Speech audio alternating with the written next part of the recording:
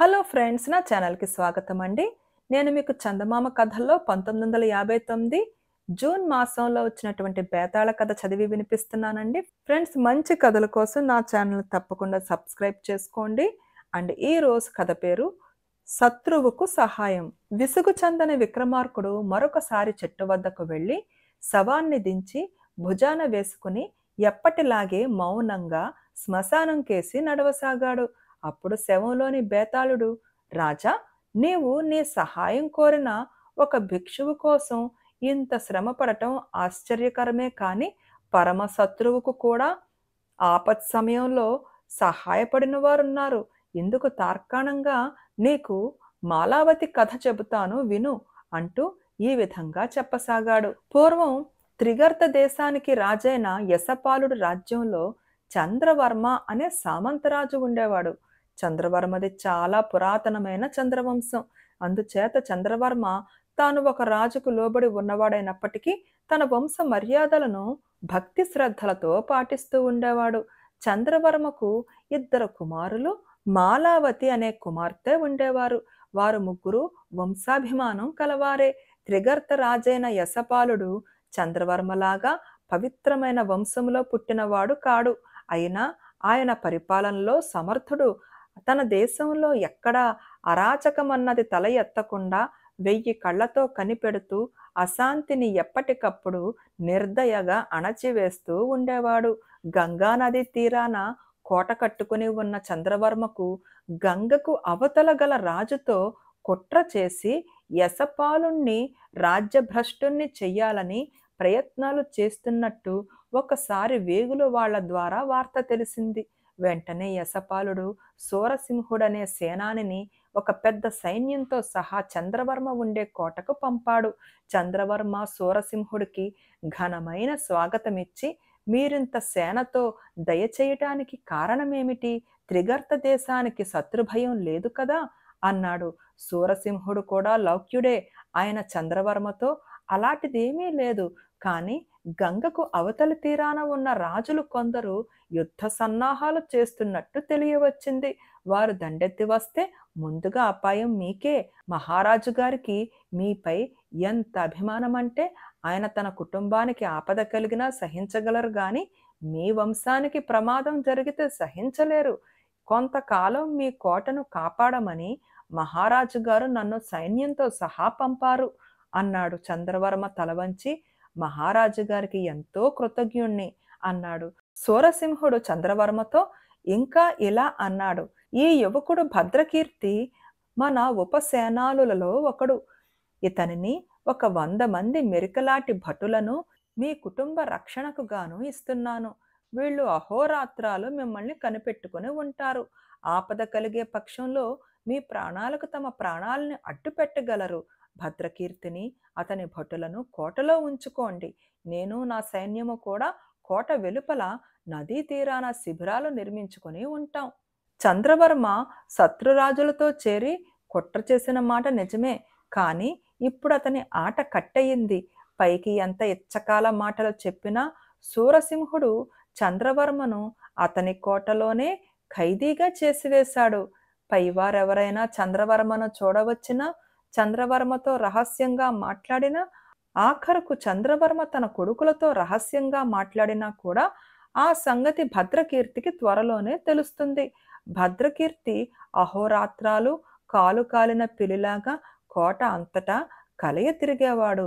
అయినా చంద్రవర్మ తన ప్రయత్నాలను మానలేదు. ఆయన తన కొడుకులనే వేగుల వాళ్ళుగా ఉపయోగించి కుట్ర సాగించాడు అన్ని ప్రయత్నాలు పూర్తి అయ్యాయి కూడా. సంవత్సరాది పండుగ నాడు చంద్రపురంలో రకరకాల వేడుకలు జరుగుతాయి. తెల్లవారులు సంబరం సాగుతుంది. ఆ చీకటి రాత్రి శత్రుసేనలు గంగ దాటి వచ్చేటట్టు చంద్రవర్మ సేనలు వారికి స్వాగతం ఇచ్చేటట్టు ఏర్పాటయ్యింది. తరువాత ఈ రెండు సేనలు కలిసి సూరసింహుడు శిబిరంపై పడి అతని సైన్యాలను సర్వనాశనం చేస్తాయి. అదే సమయంలో చంద్రవర్మ కుమారులు కోటలో ఉన్న భద్రకీర్తిని చంపేసి అతని భటులను మాయోపాయంతో కారాగృహంలో బంధించేస్తారు. ఈ కుట్రను గురించి భద్రకీర్తికి కొంచెం కూడా తెలియదు. చంద్రవర్మ ఆయన కొడుకులు అతని పట్ల ఎంతో అపేక్షగా ఉంటున్నారు. భద్రకీర్తికి వారిపైన అది వరకేమైనా అనుమానం ఉంటే అది కాస్త క్రమంగా పోయింది. దానికి ముఖ్య కారణం మాలావతి. ఆమె చాలా చక్కనిది. మొదటిసారి చూస్తూనే భద్రకీర్తి ఆమెను ప్రేమించాడు. ఆమె ఎన్నడూ అతనితో మాట్లాడేది కాదు.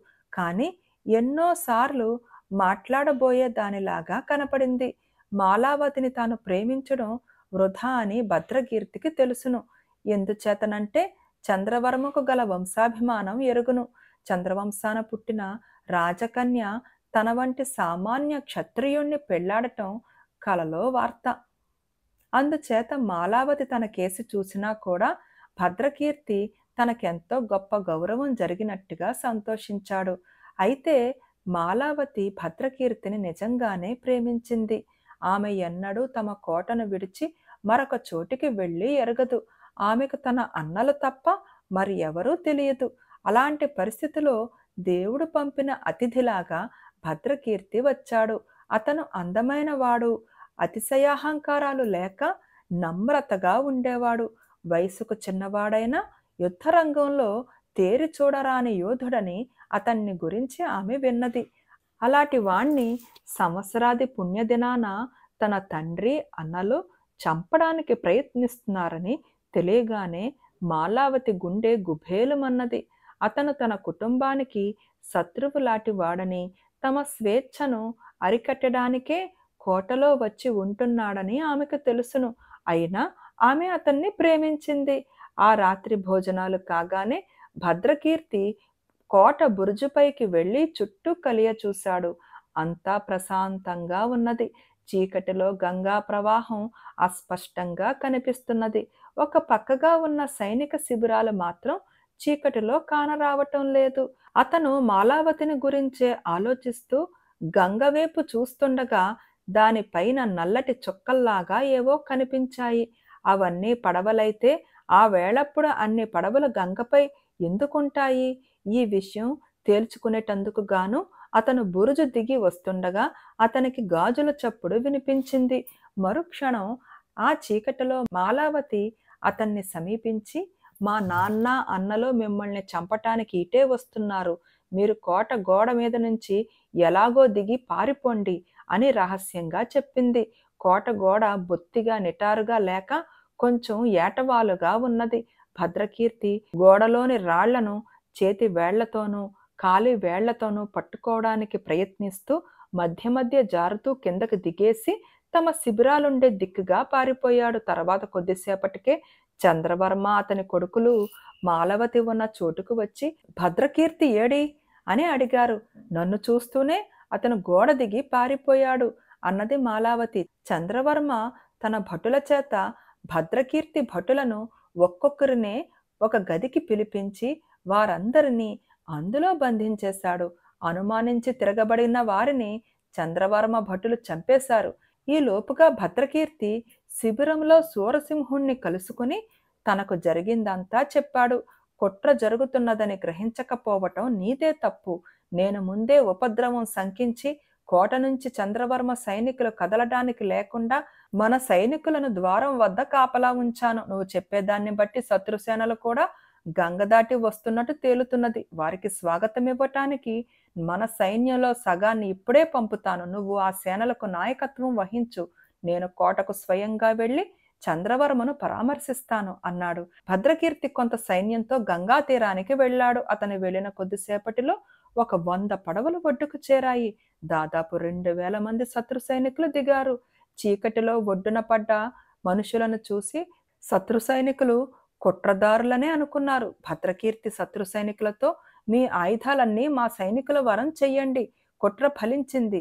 శిబిరం అదివరకే మన వశమయ్యింది.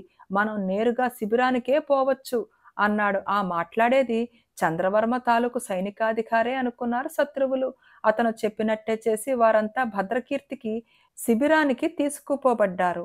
ఈ పని పూర్తి కాగానే భద్రకీర్తి కోటకు తిరిగి వెళ్ళాడు. అతను వెళ్ళేసరికి చంద్రవర్మ అతని కుమారులు బంధీలుగా చిక్కారు. వారికి సూరసింహుడు మరణదండన కూడా విధించాడు.